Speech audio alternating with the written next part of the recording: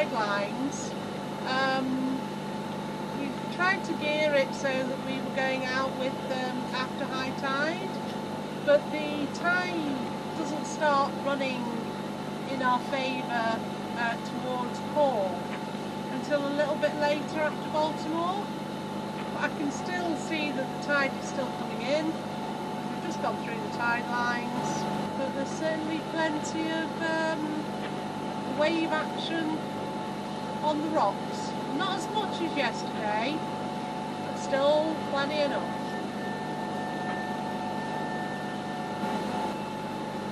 Did you give her a few more legs?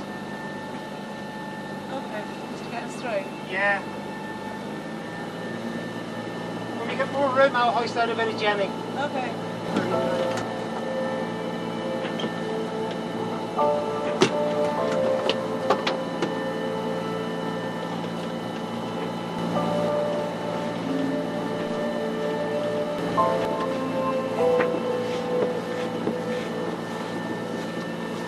Right, that should not impede things. So we're ready.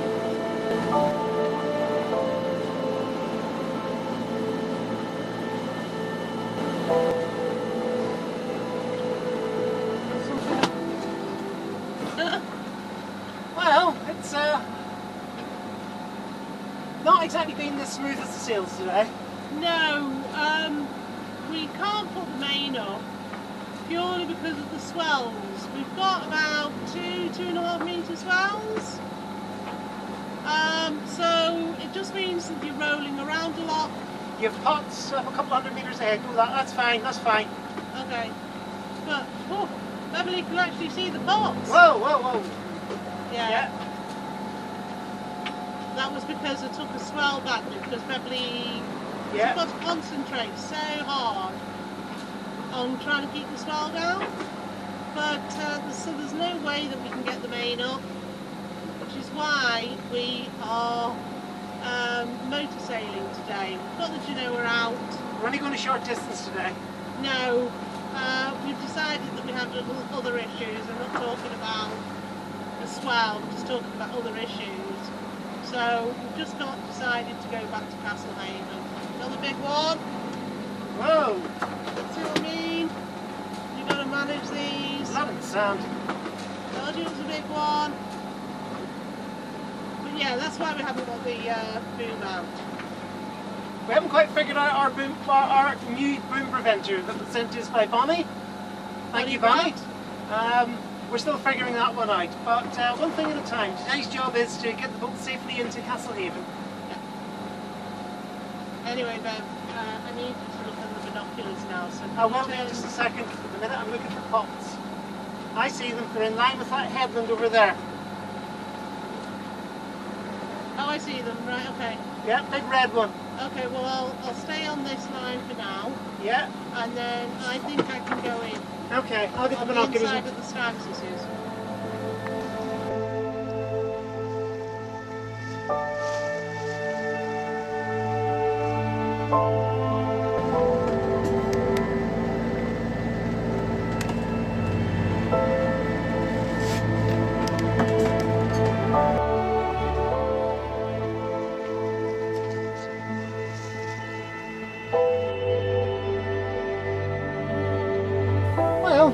Made it into uh, made it into Crosshaven. Um, as we Excuse me, Castle. well, we've made it into Castlehaven. And uh, as we came round the point, I got the binoculars out and said again, "Oh, there's loads of moorings. I can see buoys everywhere." Turned out they weren't moorings. Um, if you can hear that racket in the background, there's a rowing race on today, and they're all lane markers for the rowings. They've lifted all the moorings. So we've had to come up round the corner. They said, "Go up round there, then turn left and take a mooring there." So we've done that. We've got no idea whose mooring we've taken. But uh, basically, where we were anchored before, that's in the middle of the race. So, we So if they do want us to move, we will move. And once they pick all these up and the race is over, we're happy to go down and drop our anchor. It's not a problem for us. But, but it's just the but our mooring tool, Mr. Swifty, did his thing yet again and saved our ass. So uh, basically what happens, that goes through the ring and then snap, snaps it and leave, leaves the rope on the ring. So since it's a mirroring ring on top, that's what we use. But Mr. Swifty, great job. Oh, But that was a rough passage. yeah, it was the swell more than anything else. Um, I did have the Genoa out um, at one point, but and it was helping. And yeah, they just failed. Well, it's not only that; it means so the swell was so bad. We couldn't it even hold it, you know. Yeah. Couldn't even hold it out. It Anyway, our, our friend Craig from Bangor said yes, he was down here a couple of years ago or something like that, and he came out a day or two after a big blow, and he says he took a right beating. Well, I know what he's getting at. Yeah, we didn't get a beating, but we were quite happy to just do a shorter one today. Um, I wasn't really back in form. no. After five weeks sitting on our tushes in Baltimore doing nothing, I, I- I've sort of lost my race, not my racing, my, my yachting mojo a little bit. And uh, when I've been away from it for a while, it takes me usually about a trip or so to get back into it. But on this particular trip, we came out into massive swells and I had a little panic attack, I have to admit. I think to some extent um, it was also the fact that we've been under a lot of stress. Yes. So, for instance, um, we were on a, an anchorage just outside Sherkin Island, and um, we had to move from there Yeah. uh, because the winds had changed. The wind was forecast to be from the south or possibly the southwest. It actually turned to the southeast, and Sherkin Island became a big lee shore, and we had to get off. But the thing is, we knew somebody else was there, so and then we saw this yacht on the On the rocks later on, and the RNLI pulled it off, and it turned out to be our friend. Uh, so we had, even though it was not our boat, we were still apprehensive for him. Yeah, you get very worked up. You hope he's all right. You hope his boat's all right, and you, you get very, very worked up. And then we then had to sit out an entire day of like 50 and 60 knot winds. They were huge. They were force nine. Yeah, and so you got very little sleep. Yeah. Um, and then that went through, and then yesterday we did nothing else but get prep the boat. So it was like getting water, making sure my washing's done. And you said you felt a bit snippy all day. I was, I was snippy. I'm not a very snip. I- I- You know, I don't. I'm not normally a snippy person. But you were easily irritated yesterday. I weren't you? was. I was Yeah. very easy. And the main reason for that was I was tired. Yeah. You know, and um, you know, I, I put my head down last night, and I got about 11 or 12 hours. Boom, just like that. yeah. But the thing is, when we decided to come out today, even though um, the anxiety was then, there was a little bit of carryover today. Plus, I think I still need more sleep.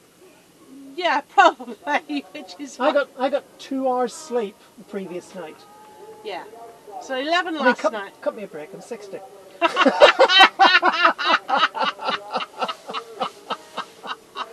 anyway, we are where we are. We're in um, Castle. Haven. Castle Haven. I've got Gainer right, so I'll be calling Conceal Conceal next. But uh, the plan is we're, we're, we're heading east. We've had enough of being slammed and bashed and thumped and cracked. And um, even though it's not the decision I wanted to make, Or me. um, because of I have the, not got back to my childhood beaches. I know because of the amount of swell that there was today. Now we know that the um, western shore of Ireland has got it's it, it, It's bleak. well either it's bleak, but also it's um, it's predominated by swell. Swell, bad weather, rocks, and strong winds, which is why it's bleak, it's why nobody lives there. It's why the Burren exists. I know. If you haven't seen the Burren, it is flat rock with cracks in it, and the only living things live in the cracks. I mean, there's like 20, 30 miles of this. yeah, but the thing is, It's a, um, a strange place, isn't it? I know it's a beautiful place, but the thing is, if it was swell today on on this particular one, Look at the Cliffs of Moher. It The, would cli- be- the Cliffs of Moher are the biggest cliffs in Europe, and they've been hammered out by the Atlantic. I know. Regardless, Yeah, so I'm afraid we're not going to get to see any of that, much as we wanted to do it. yeah. Um, the forecast, looking ahead, is blooming awful. basically, yeah. but no, we're gonna just try and make as many adventures as we can. Honest to goodness, you know what? You never know what you're going to get on this channel because, quite frankly, neither do we. Well, I know what I'm going to make in the short term. Bacon buddies. Yeah, damn right you are. I'm hungry. Well, We haven't opened any cupboards yet, but during the passage there was a lot of noise from these cupboards. So I need to get a teacup out. Quite often after a rough passage we have the rough passage test. Oh, and it failed! And it failed. Hey! Successful seal. Look where it's gone. It's way in there. Doesn't, doesn't normally sit way in there. Ah. Yep, tea bags have fell over. Do you know what? Considering the amount of noise that's being made in here, things have done pretty well. I'm quite impressed. Maybe it was these rattling back and forward, but it goes to show you why when we're at sea, we close everything. You know that thing on airplanes where they say, please be careful moving your opening the overhead lockers, things may have moved in flight.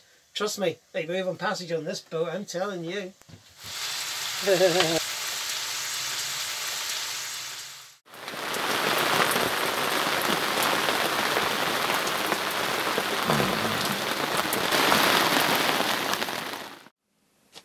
Well, we're back in Castlehaven, we are, aren't we? and I had hoped to show you a uh, the cow in the tree, Hey! but unfortunately the um, Cow in the tree is for private viewings only. yeah A lot of the land is marked for things like private property, do not enter, do not cross this land, and the cow is on the other side of those signs. So um, the cow in the tree was out. yeah it's a bit So of a we thought we'd show you some of the shops in Castlehaven. So we went on Google Maps and said whereabouts are about to the shops so we're not wandering around like two lost souls. It turns out the nearest shop is Skibbereen, about five miles that way. So um, we're not showing you the shops in Castlehaven either. But the thing is, I will say this: it is a lovely, idyllic little place. So if you like walking or things like that, and have got plenty of supplies, Yeah, don't come here with an empty larder. That's not a good idea. We've got a nearly empty larder, so our, our mission today is to move a few miles up the coast to Glandore or Union Hall. There seems to be two towns, one either side of the estuary. Um, the shop appears to be in Union Hall, even though the thing's called Glandore. But we're going to go there and see if we can get some supplies, and then after that, it's to move on to Kinsale. Yep, and just um, because we've made the decision, and you know what? Once you make a decision, Decision, you've go- just got to go go on and do it, Yeah, and not look back because it doesn't look like we're going to do a lot of sailing today, though.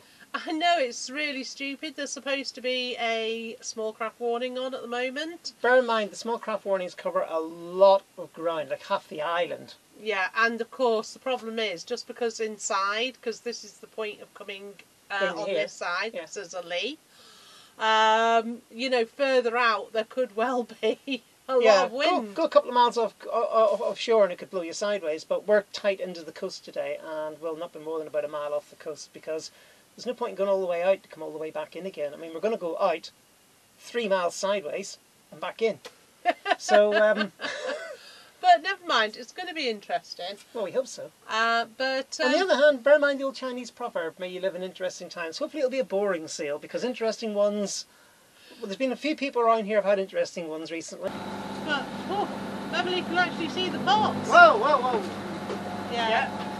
Beverly is currently trying to fix our impeller. Ah, Anyway, um, while we were here, I just wanted to have a little word on mooring balls. And um, we had to come on to a mooring ball purely because Oh. uh, the race. Yeah, another top tip for Castlehaven: don't arrive on its race, race weekend because that area down there, just which is the great place for anchoring, by the way. the anchorage just fills up with racing lanes for rowboats and, and sculls and whatnot. So there's seven or eight racing lanes. So you couldn't, so we couldn't raid, uh, couldn't anchor where we normally do. So we had to come on to one of the mooring balls. Gainer was on the, you were on the helm, weren't you? I was on the helm, So, and so I talked to the uh, I talked to the safety boat and said, "Where do we go?" And he said, "Go up there, turn left, take a mooring ball." And he said those two, that mooring ball there, he said, um, the boat that's normally on it is Away. is is is bigger than you and Yeah. away. that was very true. That's very true because about three hours later it turned up. So we had to move to another one. they were very gracious about it. They were very very nice and it was very, they were they were lovely, absolutely lovely about it. and um, So I said, "Well, where do we go?" And he said, "Well, that boat over there, "Uh, that mooring over there is fairly new laid, and it's a bigger boat than you, so you'll you'll be fine on that one." So we went there, and they turned up while we had just crawled into our bunks for the night. And um, they were a bit less gracious about it, but we said, well, where do we go? And they said, well, there's that one there, newly laid. And I thought, oh my God, not this again. But the thing is, I'll be honest, because it uh, it was not good for us. But never mind, we'll, we'll come to When, another when, one. the, when the tide changed and the boat sort of, you know, swings round a bit, there was a bumping noise at the back. It was another flipping mirroring buoy. Yeah, because the thing is, it was all right where we were, but of course you twist around with the thing, The mirroring's obviously made for a smaller boat. And uh, yeah.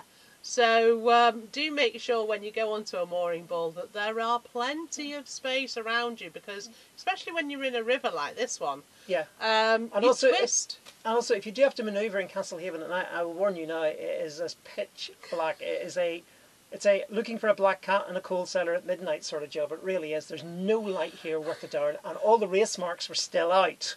Which is why we went onto a mooring ball. So eventually we found another mooring ball thanks to the headlight on a stick torch we have, and we grabbed that one. And thankfully nobody's turned up to throw us off this one. But every time a boat comes past, I sort of swallow a bit and grit my teeth. I was wanting to go onto the anchor yesterday, but it was absolutely throwing it down for Oh, most of the day. It I was mean- it was biblical rain. It was it was pounding down. It couldn't wait to get down onto the ground. That rain. Yeah, so uh, that's why we didn't anchor in the end, but never mind. So we're going to go to Glandore and hopefully anchor there. Yeah.